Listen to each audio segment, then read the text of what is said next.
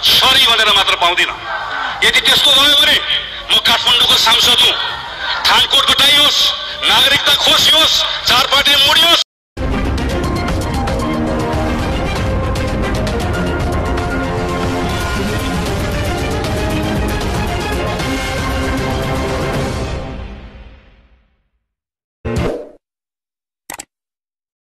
एकाएक काठमाडौँका मेयर बालन शाहले फेरि आजदेखि पुरै काठमाडौँमा सुरु गरे यस्तो नियम?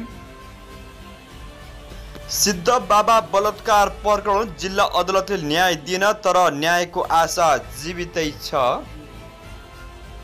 एमसिसी विरुद्ध भर्खरै पोखरामा भयङ्कर आन्दोलन। उपसचिव साक्य भ्रष्टाचार मुद्दामा दोषी ठहर। एकाएक आज झन ठुलो लफडा भयो अस्पतालमा दुईजना डाक्टर घाइते। भक्तपुरमा एकजना व्यक्ति मृतक अवस्थामा फेला। सुन तस्करी प्रकरण बारे उच्च स्तरीय छानबिन आयोग बनाउने प्रक्रिया अघि बढ्यो प्रधानमन्त्री प्रचण्ड। गोइडाको आक्रमणबाट एकजनाको मृत्यु। गौतम बुद्ध अन्तर्राष्ट्रिय क्रिकेट रङ्गशालाको निर्माण प्रक्रिया अघि बढ्छ प्रमुख दाहाल। र वाङ्गै छाडिएको मङ्गलामा डुबेर दुई वर्षीय बालकको मृत्यु। आजको यो भिडियोमा यो सब अपडेटले हजुरमा आज उपस्थित भइसकेको छु। यो सब जानकारी पाउनको लागि भिडियोलाई सुरुदेखि अन्तिमसम्म फलो गर्नुहोला। केही सुझाव सल्लाह छ भने तल कमेन्ट गर्नुहोला। भिडियोलाई सक्दो सेयर गरी सबै नेपालीसम्म पुर्याउन मद्दत पनि गर्नुहोला। हजुरको एउटा सेयरले गर्दाखेरि धेरै नेपालीलाई केही न केही जानकारी मिल्नेछ। मैले आफूले जानेका बुझेका कुराहरू हजुरहरूलाई बताउने गर्दछु। नयाँ आउनु भएको छ। अझै पनि हाम्रो यो नेपाली अनलाइन युट्युब च्यानलसँग जोडिनु भएको छैन भने सब्सक्राइब र साथमा रहेको घन्टीलाई दबाई हामीसँगै जोडिनुहोला। अब ढिला नगरिकन लागौँ आजको विषय वस्तुतिर दर्शकबिन हेटौडाको सन्चो अस्पतालका चिकित्सकलाई कुट्ने विरुद्ध जिल्ला प्रहरी कार्यालय मकवानपुरमा किटारी जाहेरी परेको छ।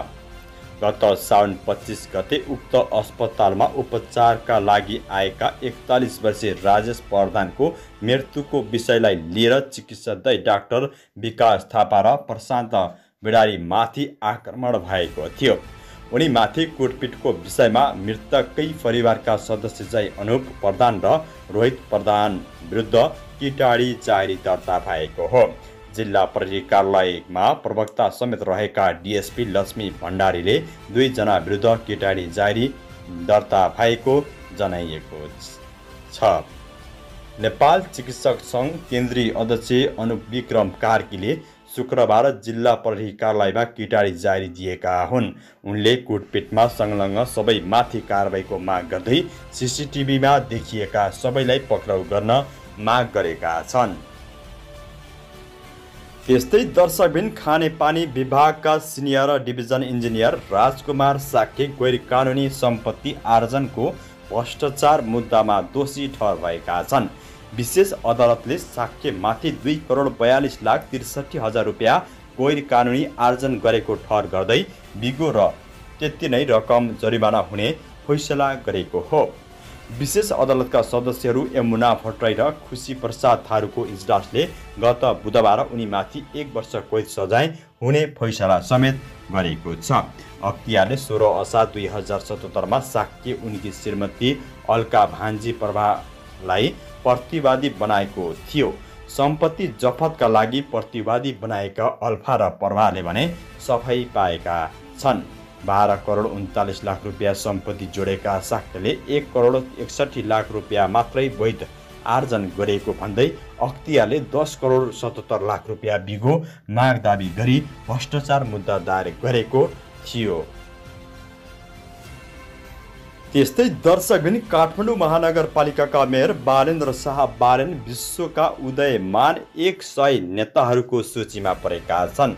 प्रतिष्ठित टाइम म्यागजिनले सन् दुई हजार तेइसका विश्वका उदयमान सय नेताको सूची सार्वजनिक गर्दा त्यसमा काठमाडौँ महानगरपालिकाका मेयर बालेन्द्र शाह पनि समावेश भएका हुन्। म्यागजिनले भविष्यमा आफ्नो क्षेत्रलाई आकार दिने र परिभाषित गर्न सक्ने विश्वभरका एक सय उदयमान नेतृत्वको सूची टाइम एक सय नेक्स्ट सार्वजनिक गरेको हो। स्वास्थ्य वातावरण खेल व्यवसाय राजनीति कला कला जस्ता क्षेत्रमा उदायका नेताहरूको सूचीमा मेयर शाहलाई पनि समावेश गरेको हो। जसमा बालेन शाहको बारेमा लेख्दै टाइम म्यागजिनले बालेन कसरी मेयर बने भन्ने उल्लेख गरेको छ। साथै कसरी चर्चामा आए भन्ने कुरा पनि उल्लेख गरेको छ। वर्ष व्यक्ति संसारका प्रभावशाली सय व्यक्तिको सूची जारी गर्दै आएको टाइमले सन् दुई हजार उन्नाइसदेखि उदयमान नेताहरूको सूची गर्न सार्वजनिक थालेको हो। द न्युयोर्क टाइम्सले पाँच महिना अघि शाहबारे प्रोफाइल समेत प्रकाशित गरेको थियो। टाइम म्यागजिनले शाहले पालिका चुनावमा हासिल गरेको अप्रत्याशित जितको चर्चा आफ्नो लेखमा गरेको छ। तेत्तिस वर्षीय र स्वतन्त्र उम्मेदवार शाहले सामाजिक सञ्जालको प्रयोग गरेर मतदाताहरूको निराशालाई पक्राउँदै बालेन प्रवाह सिर्जना गरेको म्यागजिनमा उल्लेख गरिएको छ। सामाजिक सञ्जालको उच्चतम प्रयोगको कारण स्थानीय चुनावमा स्वतन्त्र उम्मेदवारहरूले दिग्गज राजनीतिज्ञहरूमाथि विजय हासिल गरेको म्यागजिनमा उल्लेख गरिएको छ। बालेन शाहको चर्चा गर्दै म्यागजिनले लेखेको छ मेयर भएर आएपछि शाहले ल्यान्डफिड साइटहरू प्रयोग गर्न अधिकारसँग सम्झौताहरूमा हस्तान्तरण गरेका छन्। साथै फोहोरहरू छुट्याउने र विसर्जन गर्ने योजनाहरू घोषणा गरेका थिए। त्यस्तै दर्शकबिन भक्तपुरको सूर्य विनायक नगरपालिका वार्ड नम्बर दस चित्तपोल स्थित झोलुङ्गे पुल मुनिको एक व्यक्ति मृतक फेला परेका छन्।